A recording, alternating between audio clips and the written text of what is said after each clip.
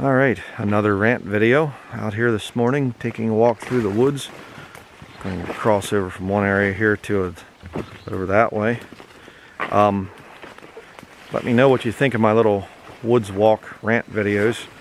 Um, problem that I have a lot of times is that I uh, I end up having thoughts come to me and I think, yeah, I should probably do a video on that you know, do a sermon or something like that, and I kind of write it down or whatever. And sometimes I get to it, and sometimes I don't.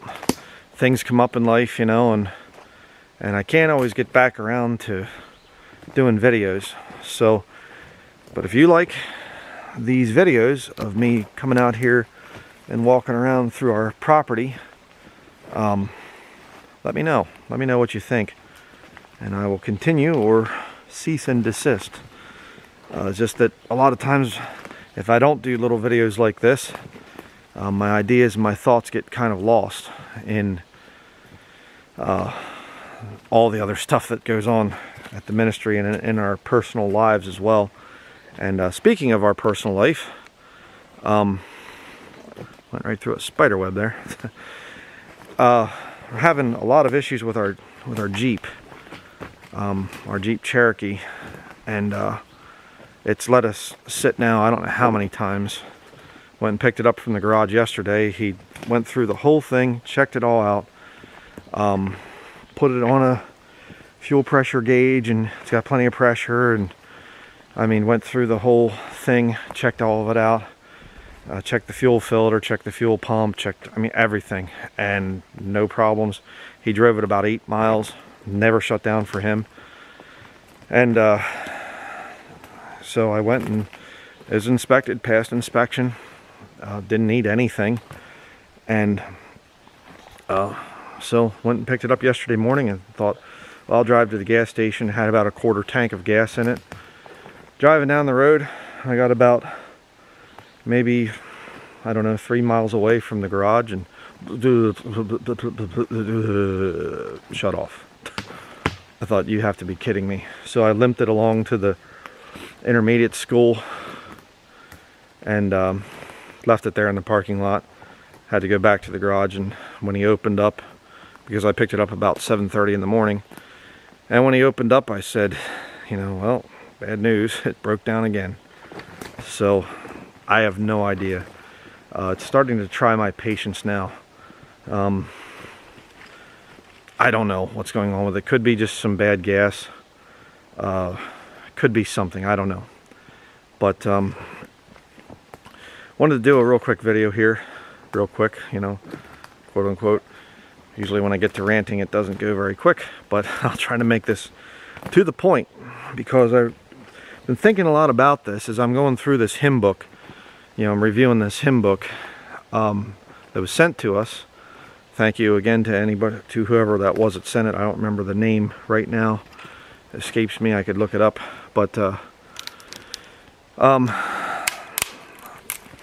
this hymn book thing, I'm going through it, and there are so many hymns that just, just are so beautiful, and the lyrical content of these old hymns is just, it's poetry. It's, it's beautiful, and I would say is second to the scriptures. You know, you have to be careful. Some of them, you know, you get holy, holy, holy, and it's based on the Nicene Creed and God in three persons, Blessed Trinity. That's an issue. We just, you know, um, we rewrite it. You know, we like the hymn, but we just rewrite it, you know, and say, Jesus is the Lord and not a Trinity. That's what we do when we have to sing it. When we get to it, when you know, because we'll go through the hymn book. Um, every night we read a chapter of the Bible before we go to bed and sing a hymn and the whole hymn. Um, and uh, Oliver has learned a lot about the old hymns and, and he can sing a lot of them from memory because we've been singing the hymns as a family now for years, ever since he was born basically. And I used to sing to him, sing the hymns when he would be in a little carrier on my chest and I'd be washing the dishes or doing other work around the house or something and and um, so he's been raised with the old hymns and he loves the old hymns but a lot of you haven't Which brings me to the title of this video, which you obviously can see. And that is Christianity is always one generation away from extinction. Um, kind of an interesting thing. Uh, because, and there's no trails out here, by the way, just to make that kind of plain if you can't tell. Just walking through the woods. But um, years ago, my family, we had uh, some family friends of ours, the Gordleys, and the husband, his name was Jim Gordley. They were missionaries to Central and South, or Central America, excuse me, Mexico and then Costa Rica and Panama and I forget where they ended up being. They're back in America now. They're older. Um, but uh, I remember Jim Gordley made that statement. Christianity is always one generation away from extinction. And, you know, got to thinking about that. And what he meant was, um, if a generation that's older does not pass what they've learned down to the younger generation, and if the younger generation is not receptive to what the older generation knows, if they're not respectful to older people, then that a lot of the beliefs and teachings of Christianity um, come to naught. Uh, not because they are not of God, it's just because people don't care to remember. And that's the tragedy of this whole thing.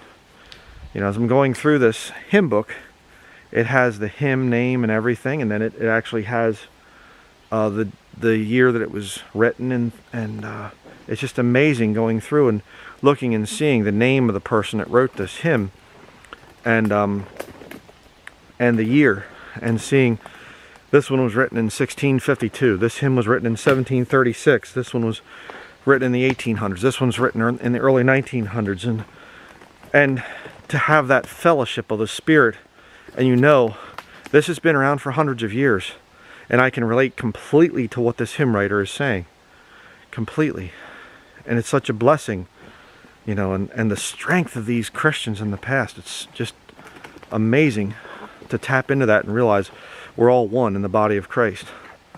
Um, such a neat thing. I was reading actually that there, the hymn "Day by Day" uh, was written by a young woman, and um, the story went that she was sickly, I guess, and that she would spend her time with her father and in his office, and she would read quite a bit, and that um, she started to write hymns, I guess, or something, and she was getting into that. And they had to go someplace on a boat. And so this young woman, um, she uh, was there on the boat with her father. And a bad storm came up, and it got the, the deck was really rocking back and forth. And at one point in time, the I guess a wave must have hit the boat or something, and it really knocked the boat hard, and it knocked her father overboard and she ran over to the edge and held on and she watched her father drown. Just terrible. And from then on, she became an atheist and said, I was raised in a church and it's a cult and I, I hate it. And no, she uh, penned the hymn day by day. You know, and day by day and with each passing moment, strength I find to meet my trials here trusting in my Father's wise bestowment. I've no cause for worry or for fear. He whose heart is kind beyond all measure gives unto each day what he deems best. Lovingly, it's part of pain and pleasure, mingling toil with peace and rest. Man, having to fight back tears. It just how could you write a thing like that? I mean, wouldn't you be bitter? Wouldn't you just say, God, why would you do that to me? I can't understand why. No, I'll just sit down and write a hymn to praise God. What and what do you have like that with modern CCM stuff? Just a bunch of garbage, just a bunch of feelings and this stuff. And now's the time to worship or something. Gag me. Ugh. And you know, it is well with my soul. I mean, um, um, another amazing hymn. Man lost his all of his children. Boat went down at sea, and the only one that survived was his was his wife. Lost his son to scarlet fever, then lost his uh, his three little girls out at sea. You know, just amazing the the spiritual power of those old hymns. Uh, Joseph Scriven, what a friend we have in Jesus after he lost two different women that he was going to marry. Loves of his life, you know, and uh, lost one, I think it was in Ireland. Then he went to Canada to restart his life. Met a girl over there and fell in love with her, and and uh, then she passed away. Just amazing stories, and yet they they love the Lord through it. But if you have, if you don't have that, if you weren't raised that way, if you don't care about older ways, um, you're not really following biblical Christianity. And that's why a lot of people they start to get doubts about the King James Bible because they say, "Well, I don't really know. I don't I don't know if we can trust it and maybe people have been wrong for hundreds of years." Um it's more than just textual variation and and how should it be properly translated and this word here could have been translated. The, the Bible version issue is far deeper than that. The Bible version issue is about connecting spiritually with that book, testing and proving that Bible, and saying how this thing works out. And uh, son and dog over here. That's what you're hearing there. I'm not going to be attacked by a wild animal. Although he does get kind of wild sometimes. But, uh, but what I'm trying to say is um, if you don't understand the connection between the old hymns and the Christians of the past and the King James Bible and how that Bible was there to strengthen them and encourage them and how they went through horrible times sometimes. And if you don't understand that, then you'll fall for the lies of the devil about the King James Bible not being God's perfect word. But if you see it and you understand, we go back hundreds of years. And before that, you had, you know, people that held to the true text of Scripture, small groups of uh, heretics, according to the Catholic Church, and we were persecuted and we were hunted down and whatever else, and yet we had strength. Going the whole way back to the first century before the Roman Catholic was Church was established in uh, by Constantine in the fourth century. But if you don't have that history, that connection to the past, then you'll fall very easily. Um, you'll be like the people, the the seed that's that's you know sowed on stony ground, and it doesn't have any root in itself. And when persecution and, and things arises because of the word, they get offended and they fall away. Oh yeah, I was in Denlinger's cult for a while. I don't have a cult. Okay, and if you have some kind of a cult surrounding me, well then you're in sin. Um, I, I fell for that King James only stuff for a while, but then I got out of it and I went to church for a little bit of time and then I eventually just quit it and everything else. You know why? Because there's no connection with the past. There's no emotional connection. Um, my beliefs in Scripture is the Bible is God's love letter to me. It's God's uh, provision to me to help me through those rough times. And the hymns are a second close companion to that because it's the testimony. The Bible says about that we overcome by the blood of the Lamb and the testimony of Jesus. The hymns are the testimony of Jesus.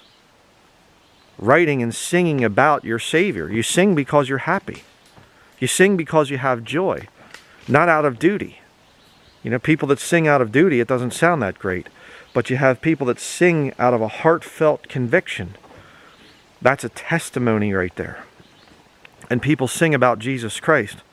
They sing about their Savior.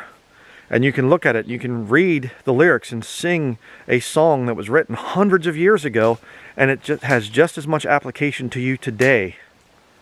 You know, how about uh, and though this world with devils filled should threaten to undo us, a mighty fortress is our God. Um, ein fester Burg ist unser Gott. Gott. See if I can say that correctly. To say it the original German there.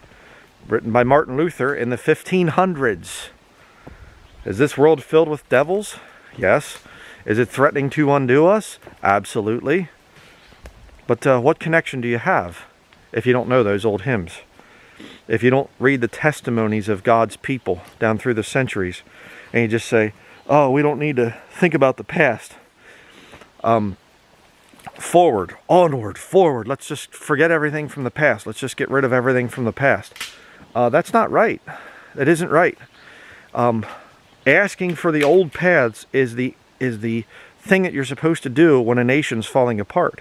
You don't say, well, yeah, we have to abandon everything from the past that we knew was right, and then we have to move forward to the new normal. The new normal is a satanic philosophy. It's saying that uh, evolutionary, that we get better with time. Things get better, that things improve. No, they don't. No, they don't. Um, you have to strengthen the things that remain, the Bible says about that. Um, and you don't give those up for anyone, for any reason. I will never give up the King James Bible because there's a spiritual connection that I have. That book guides me, it leads me. Well, we we found a, error or whatever else, and um, no, you didn't. Well, can you explain it? Well, not on the surface. I can't look at that and explain it. You know, whatever. But uh, I don't look for errors in the King James Bible. Um, and a lot of these supposed errors that people come up with, um, I mean, you'd really have to be picky and really searching through the, the Bible to try to prove the Bible's wrong. Which proves that there's an emotional problem there. And the things that are uh, that are there, um, in terms of the Bible itself, it's a spiritual book. It must be spiritually discerned. Lost people can't understand it. That's why they believe it contradicts. and if you come up with a thing, well, this guy, this this there's a number over here, and when he was this he was this old when he began to reign. This one over here says he's that old when he began to reign. Um, you just don't understand some things there. Some things might have been reckoned differently. They could have been, you know, that they that this is the age that he officially began to reign, but this is the age where uh, he began to reign, just yet not officially, or something like that. Um, I don't know there's a lot of differences between our culture and the ancient cultures. That's not doesn't make it a contradiction. It just means that you don't understand it. Your under, understanding of the scriptures and of ancient things is deficient. It doesn't make it a contradiction. Um, you know, and if you want to get into contradictions in the scriptures, I might actually do a study on this sometime. There are contradictions in the scriptures. There's no doubt about that. It's called a non-dispensational interpretation you get into non-dispensational interpretation of the Bible, it will contradict. If you say they preach the same gospel from Genesis to Revelation, uh, like a lot of the non-dispensationals do, um, you'll have all kinds of contradictions. You'll have all kinds of problems. Um, there are no contradictions in the Bible. There's only deficiencies in our understanding of it. Um, that's all that there is. And uh, when you've been through the scriptures many times and you've seen the miracles of God in your own life, the answers to prayer, and and how you go through some kind of a situation, and the Lord just goes, "Look at this scripture," and it's and you read the scripture. That's exactly what I'm seeing. It's exactly what these people said. Wow, Lord, it perfectly describes things. And you look at the world, the way the world's going, and you think, it's going towards the mark of the beast. Central bank digital currencies, they're doing implantable microchips. They're testing it it's going exactly like the Bible said it would happen. Unless you're a historicist and you say, it already happened symbolically in the past. anyway, there are certain heresies, brethren, you don't even have to waste any time on. You can just look at it and you say, please, uh, don't waste my time. Okay, you historicists out there, you people, you need to get saved. The Holy Spirit's not leading you. The Holy Spirit's not guiding you into that level of stupidity. I mean, it all happened in the first century. No, it didn't. So, need to get to the office, coming out of the woods here. um, but that will be it. Don't let anybody wreck your faith in the King James Bible and study the old hymns. Thank you for watching.